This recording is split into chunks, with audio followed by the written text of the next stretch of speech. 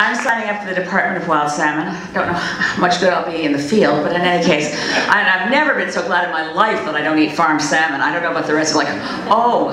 Anyway, I wanted to say quickly and succinctly a couple of things. I mean, the Green Party policy is that we shouldn't have any open uh, pen fish farms anywhere on our coastlines, Atlantic or Pacific. It's a really big issue. But when I was watching the film and the muzzling of Kristi Miller, it was coming through my head the words of the March 2012 federal budget. All government science will be, quote unquote, business-led and industry-relevant. Right?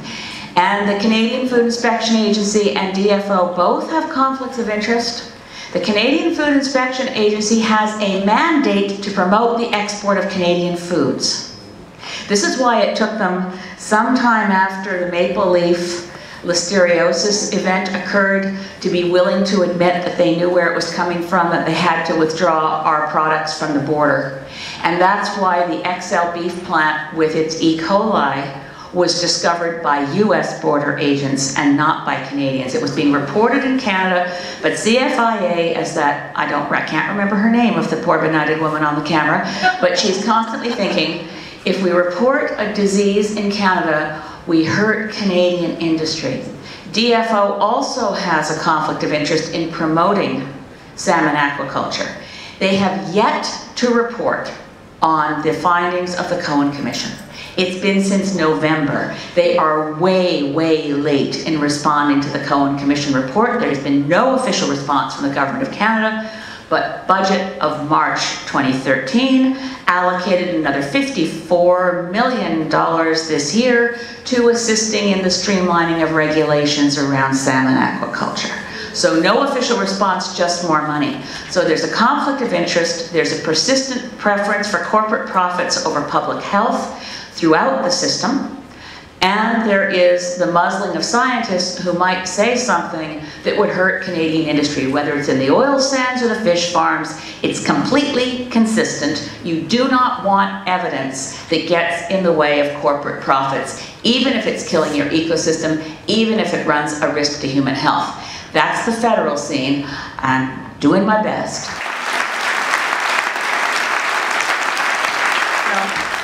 So let's just look at this for a minute. What is the economy behind salmon feedlots versus wild salmon?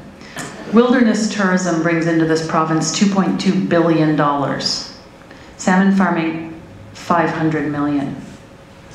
Sport fishing, 8,400 jobs. Salmon aquaculture, 1,700. We really do need to protect these fish.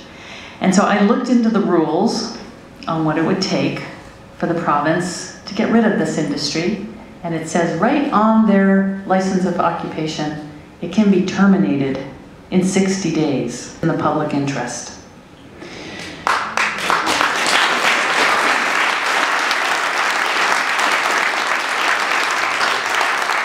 Uh, the NDP supports the recommendations of the Cohen Commission as they apply to both the federal and provincial governments.